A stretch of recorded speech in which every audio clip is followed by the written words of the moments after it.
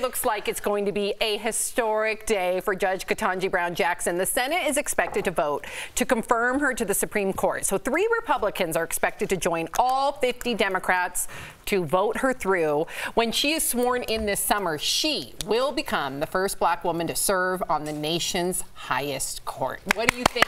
I know. What do you think out of this historic first? I mean, just I, I feel like you know, her race is clouding the fact that she's probably the most qualified candidate that we've ever seen in government. Like when I read her her resume, I read it a couple times. I was like, there's no way, given how old she is, she could have done this. And then I really, I, I know this is always going to come down to her being a, a, a, black woman, which is obviously an incredible feat.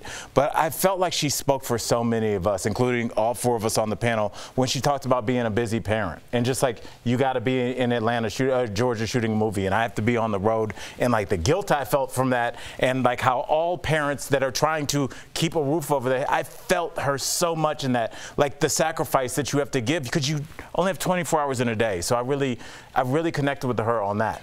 It's Not funny, so much the Harvard. Funny enough, you said that because I connected with her when she was talking about her parents moving from Miami mm. to D.C. to mm. give her a better life, That's right? Much like my ancestors did mm. for my mom and mm-hmm. my mom did for me. But it's like I can that, there's no black to that story. There's no white. There's no Italian to that story. That's a story about loving right. someone and sacrifice. Know? And yeah, sacrifice. That's what, that's what I liked about it. Yeah. And I love that she was a public defender. And if you don't know what that means, that means she helped people as their attorney when they're too poor to pay her. She will be the very first federal public defender ever on the bench. Beautiful. You don't understand. That's a huge deal that she represents an enormous amount of community in this country that has never been represented before. Bravo. Amen. Bravo. Amen. Welcome back to DBL. We have a quick update. The Senate confirmed Ketanji yes. Brown Jackson to the Supreme Court by a vote of 53 to 47.